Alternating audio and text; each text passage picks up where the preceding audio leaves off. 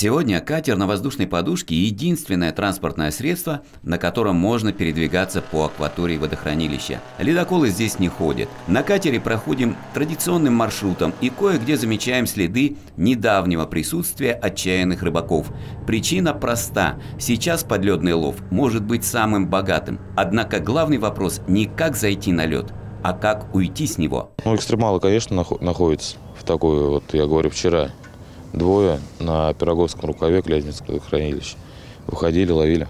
Все обошлось? Все обошлось, да, слава богу. Ежедневная проверка состояния льда. Бур проходит, а вернее проваливается через лед в считанные секунды.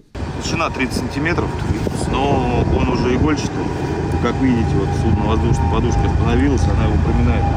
Сегодня здесь, на Клязьминском водохранилище, самый опасный лед. По сути, это не лед, а очень хрупкая, напитанная водой ледяная масса. Достаточно сделать два шага в сторону и провалишься.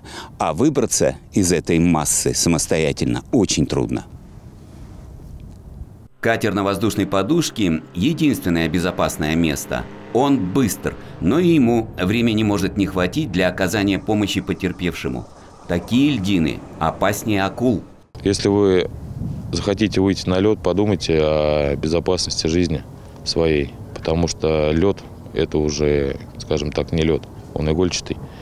Тяжело будет выбраться. Сезон зимней рыбалки давно закончился, и это надо принять. А сегодня главное – безопасность. Сергей Берзин, Константин Бондаренко, Первый Мытищинский.